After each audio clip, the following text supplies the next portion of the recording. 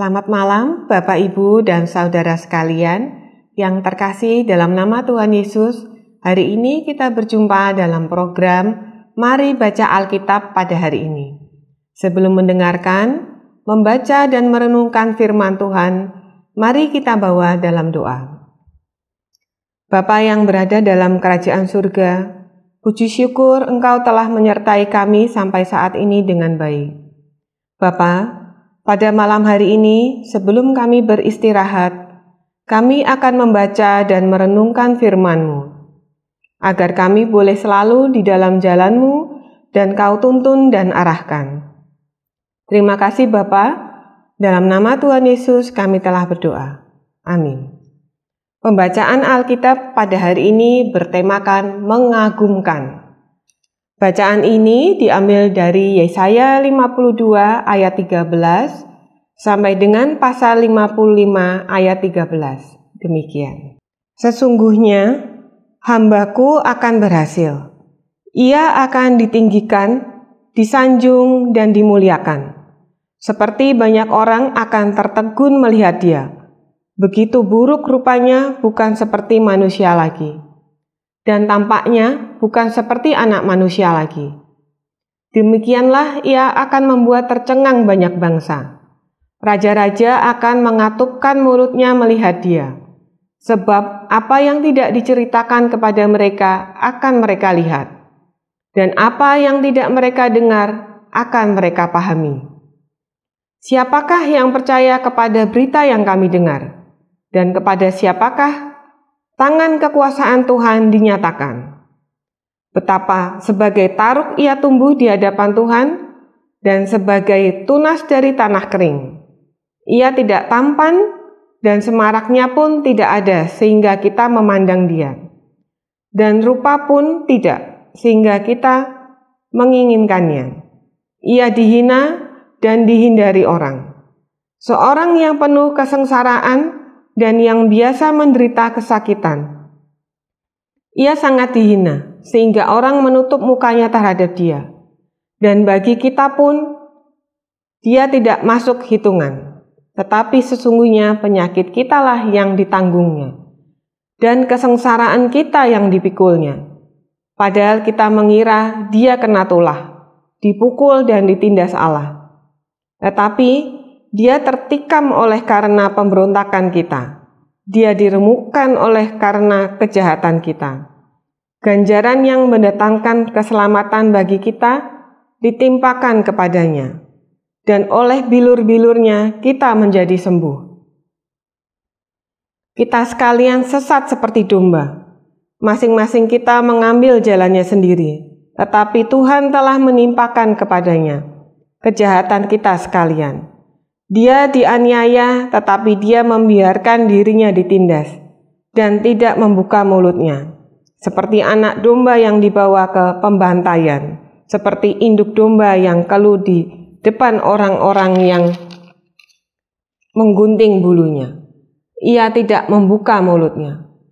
Sesudah penahanan dan penghukumannya, ia terambil. Dan tentang nasibnya, siapakah yang memikirkannya? Sungguh, ia terputus dari negeri orang-orang hidup. Dan karena pemberontakan umatku, ia kena tulah. Orang menempatkan kuburnya di antara orang-orang fasik. Dan dalam matinya, ia ada di antara penjahat-penjahat. Sekalipun ia tidak berbuat kekerasan dan tipu tidak ada dalam mulutnya. Tetapi Tuhan berkehendak meremukkan dia dengan kesakitan Apabila ia menyerahkan dirinya sebagai korban penebus salah, ia akan melihat keturunannya, umurnya akan lanjut, dan kehendak Tuhan akan terlaksana olehnya. Sesudah kesusahan jiwanya, ia akan melihat terang dan menjadi puas, dan hambaku itu sebagai orang yang benar. Akan membenarkan banyak orang oleh hikmatnya, dan kejahatan mereka dia pikul Sebab itu, aku akan membagikan kepadanya orang-orang besar sebagai rampasan. Dan ia akan memperoleh orang-orang kuat sebagai jarahan, yaitu sebagai ganti karena ia telah menyerahkan nyawanya ke dalam maut dan karena ia terhitung di antara pemberontak-pemberontak. Sekalipun ia menanggung dosa banyak orang dan berdoa untuk pemberontak-pemberontak. Perjanjian damai dengan Sion. Pasal 54. Bersorak-soraklah, hai si mandul yang tidak pernah melahirkan. Bergembiralah dengan sorak-sorai dan memekiklah, hai mereka yang tidak pernah menderita sakit bersalin. Sebab yang ditinggalkan suaminya akan mempunyai lebih banyak anak daripada yang bersuami, firman Tuhan. Lapangkanlah tempat kemahmu dan betangkanlah tenda tempat kediamanmu. Janganlah menghematnya. Panjangkanlah tali-tali kemahmu dan pancangkanlah kokoh-kokoh patok-patokmu. Sebab engkau akan mengembang ke kanan dan ke kiri Keturunanmu akan memperoleh tempat bangsa-bangsa dan akan mendiami kota-kota yang sunyi. Janganlah takut, sebab engkau tidak akan mendapat malu, dan janganlah merasa malu, sebab engkau tidak akan tersipu-sipu. Sebab engkau akan melupakan malu keremajaanmu, dan tidak akan mengingat lagi aib kejandaanmu. Sebab yang menjadi suamimu ialah dia yang menjadikan engkau. Tuhan semesta alam namanya. Yang menjadi penebusmu ialah yang maha kudus, Allah Israel. Ia disebut Allah seluruh bumi. Sebab seperti istri yang ditinggalkan yang bersusah hati, Tuhan memanggil engkau kembali. Masakan istri dari masa muda akan tetap ditolak, firman Allahmu. Hanya sesaat lamanya aku meninggalkan engkau, tetapi karena kasih sayang yang besar aku mengambil engkau kembali. Dalam murka yang meluap, aku telah menyembunyikan wajahku terhadap engkau sesaat lamanya. Tetapi dalam kasih setia abadi, aku telah mengasihani engkau, firman Tuhan penebusmu. Keadaanku ini bagiku seperti pada zaman Nuh seperti aku telah bersumpah kepadanya bahwa air bah tidak akan meliputi bumi lagi. Demikianlah aku telah bersumpah bahwa aku tidak akan murka terhadap engkau dan tidak akan menghardik engkau lagi. Sebab biarpun gunung-gunung beranjak dan bukit-bukit bergoyang, tetapi kasih setiaku tidak akan beranjak daripadamu. Dan perjanjian damaiku tidak akan bergoyang firman Tuhan yang mengasihani engkau. Hai yang terindas, yang dilanggar angin badai, yang tidak dihiburkan. Sesungguhnya, aku akan meletakkan alasmu dari batu hitam dan dasar-dasarmu dari batu nilam. Aku akan membuat kemuncak-kemuncak tembokmu dari batu delima, pintu-pintu gerbangmu dari bahu manika merah dan segenap tembok perbatasanmu dari batu permata. Semua anakmu akan menjadi murid Tuhan, dan besarlah kesejahteraan mereka. Engkau akan ditegakkan di atas kebenaran. Engkau akan jauh dari pemerasan, sebab engkau tidak usah lagi takut, dan engkau akan jatuh dari kekejutan, sebab ia tidak akan mendekat kepadamu. Apabila orang menyerbu, itu bukanlah daripadaku. Siapa pun yang menyerbu engkau, ia akan rebah melawan engkau. Sesungguhnya, akulah yang menciptakan tukang besi, yang menghembuskan api dan menghasilkan senjata menurut kecakapannya. Tetapi akulah juga yang menciptakan pemusnah untuk merusakkannya.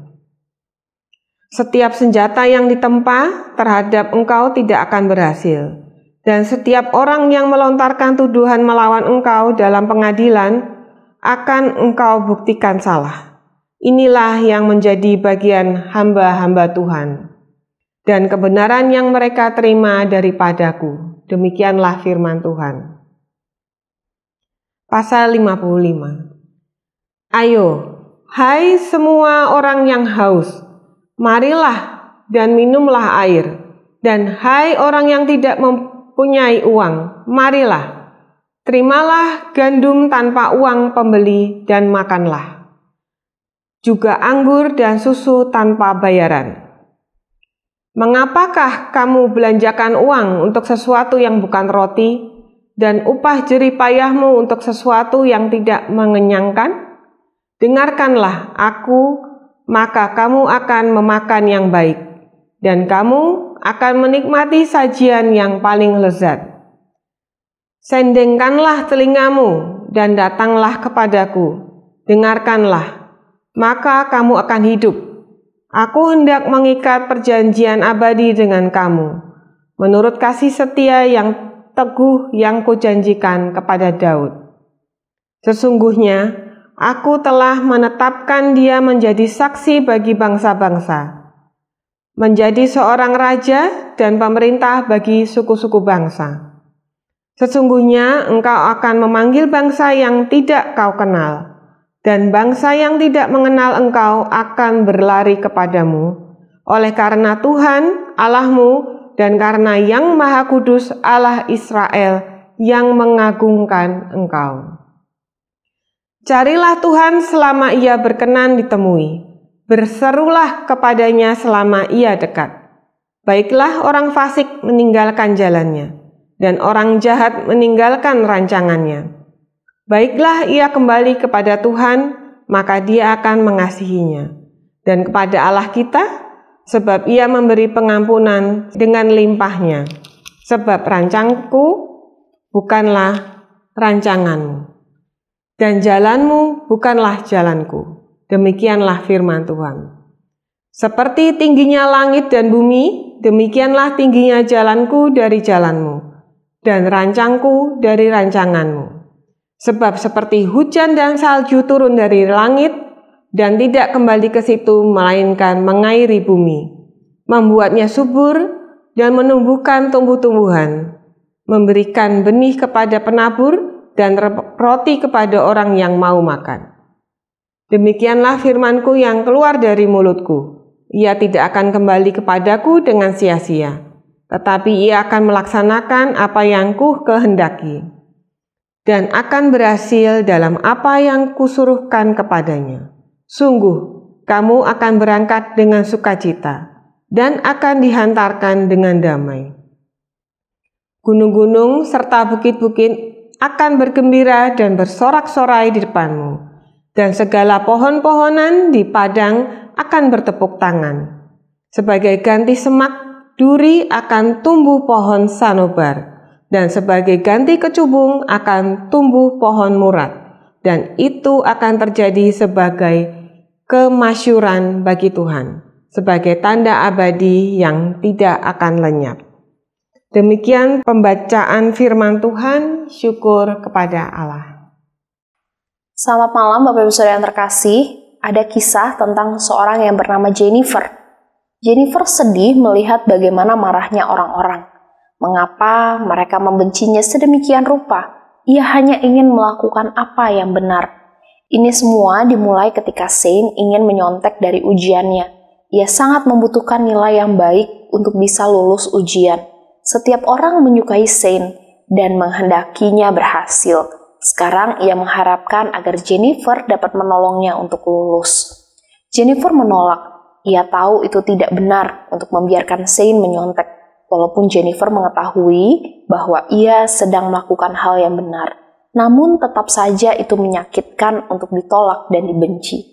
Saudara, Yesus adalah standar yang paling jelas tentang apa yang benar di tengah-tengah dunia yang selalu bertanya, jadi apa salahnya dengan itu? Kedudukannya membuatnya menerima kebencian dan juga penolakan. Nabi Yesaya menunjukkan kepada kita gambaran yang mengagumkan tentang Yesus. 700 tahun sebelum Yesus lahir, ia dibesarkan dalam suasana keagamaan yang kaku. Ia penuh duka cita dan juga terluka, namun juga menjadi penyembuhan dan pendamai. Ia bersikap rendah hati, juga dihormati dan penuh kuasa. Ia melayani Bapa dengan tujuan dan ketetapan hati. Saudara, namun Yesus dituduh dengan tuduhan palsu melakukan kejahatan dan dihukum mati. Ia dianiaya walaupun ia tidak pernah melakukan sesuatu yang salah. Kadang-kadang kita juga dituduh secara tidak adil. Jika hal ini terjadi, Senangkanlah Tuhan dan ikutilah teladannya. Tetaplah kuat dan konsisten. Amin. Mari kita berdoa. Bapak Maha Kasih dalam Kristus kami mengucap syukur Tuhan. Kami kembali diingatkan bahwa memang mengikut Tuhan, menjadi anak Tuhan, melakukan hal-hal yang baik sesuai dengan kebenaran firman Tuhan, tidak akan kemudian langsung diterima oleh dunia ini. Dunia ini membenci itu, dunia ini lebih suka hidup dalam kejahatan. Tuhan, Engkau tahu bagaimana perasaan kami. Kadang kami ditolak, kadang kami dikucilkan, kadang kami dibenci dan dijauhi karena kami melakukan apa yang benar sesuai dengan kebenaran firman-Mu. Namun Tuhan, biarlah kami tetap dikuatkan, biarlah kami tetap hidup dalam kesetiaan, dan dalam segala keterbatasan kami mampukanlah kami Tuhan untuk dapat terus ikut Tuhan, untuk dapat terus menyatakan kebenaran di tengah-tengah dunia ini. Apabila hari ini kami sedang bersusah hati karena menghadapi pergumulan semacam ini, kami mohon Tuhan Allah yang beserta dengan kami membimbing langkah kami. Terima kasih Bapak yang baik, terpujilah namamu demi Kristus kami berdoa. Amin. Bapak Ibu Saudara yang terkasih, selamat malam dan selamat beristirahat. Mari kita tetap ingat kebenaran firman Tuhan untuk menyatakan kebenaran sekalipun mendapat penolakan. God bless you.